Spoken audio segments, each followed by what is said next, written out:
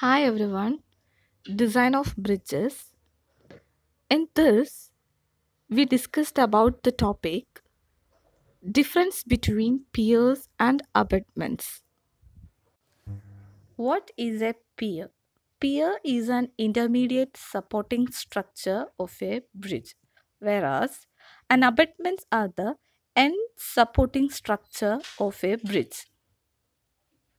In this figure, we can see that a typical bridge structure elevation, the above portion of the bridge is called the superstructure and the below portion of the bridge is called the substructure.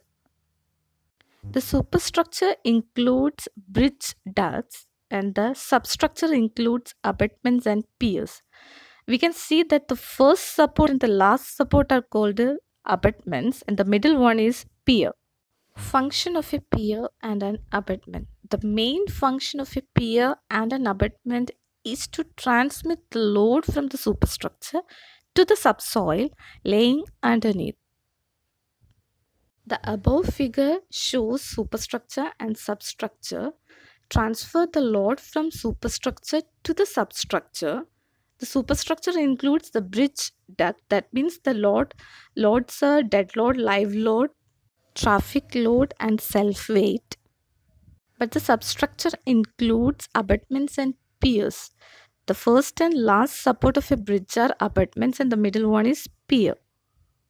In the below figure, we can see an abutment. It is very clear that the abutments retains the earthen embankment.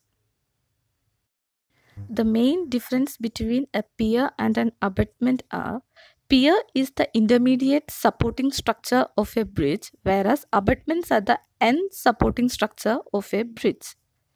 Second is abutments are two numbers whereas piers are one, two or more than two. For more references, visit SNIT Central Library. Thank you.